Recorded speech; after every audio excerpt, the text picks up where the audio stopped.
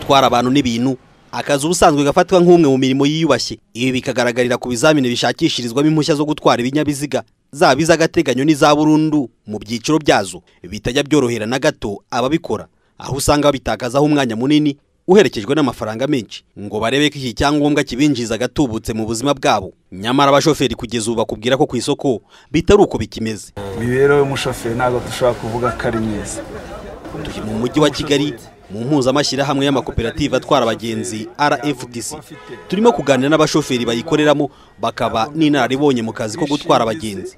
Habinshuti jean marie vianney na byarugaba emmanuel bavuga ko bamaze imyaka isaga cumi n'itanu na makumyabiri n'umunani batwara imodoka. Kuri bo ngo imibereho y'abashoferi ntabwo ihagaze neza.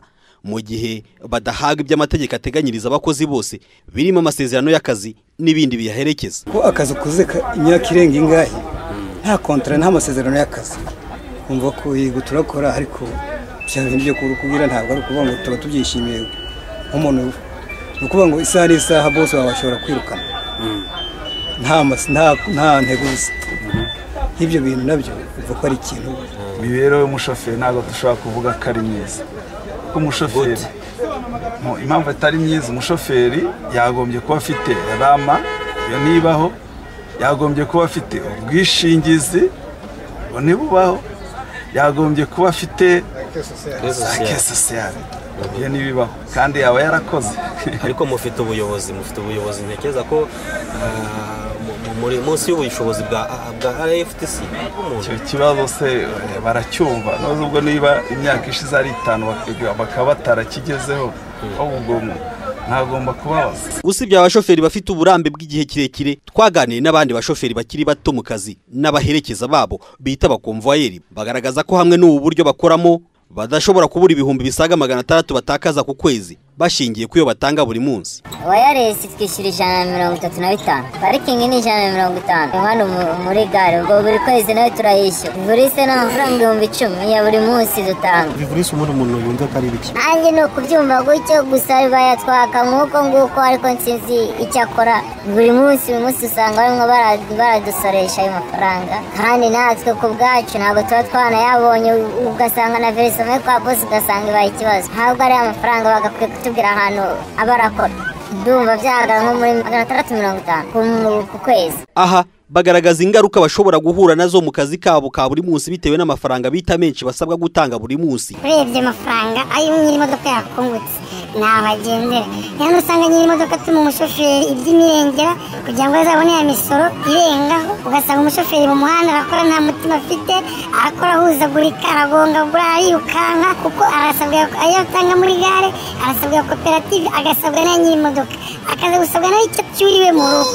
Bikamusaba rero gukora ameze nk'uwahamutse agakora nta mutima nawe umushoferi bamuhagarika akirukanka agahaguruka abagenzi bataricara kuko umutima we ntuburi mu gitereko bitewe n'ibintu aba asabwa buri munsi ubuyobozi bw'impuzamashyirahamwe y'amakoperative atwara abagenzi muri izi modoka rftc buvuga ko hari abakozi bayo bwite bahabwa ibyo amategeko ateganya byose hakaba n'abayiteranya n'abakozi bayo kandi ari abanyamuryango bayo gusa. Ari na cyo gice aba bashoferi twaganiriye baherereyemo. Umukozi wa rftc ibyo ateganyijwe n'amategeko byose arabibona.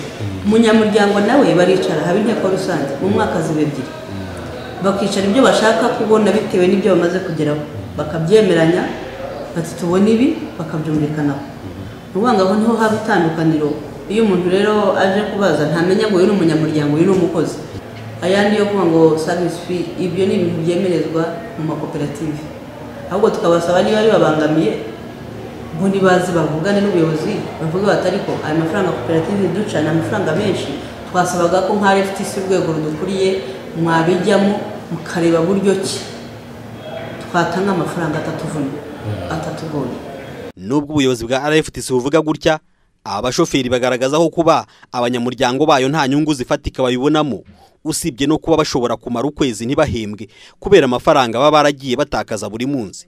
Mu bigaragara amafaranga abanyamuryango ba rftc batanga buri munsi cyangwa se buri kwezi arababangamiye. Kandi ukurikije ibyo bavuga bigaragara ko ayo batanga yose bayategekwa. Niba ibyo kuyagabanya bagatanga hatabagora uyu muyobozi avuga bishoboka kuri bo. Nta gushidikanya ko tuzabibwirwa n'uko abashoferi batongeye kuvuga mu itangazamakuru iby'iyi kibazo cy'imibereho yabo bavuga ko itari myiza bitewe n'aya mafaranga batanga.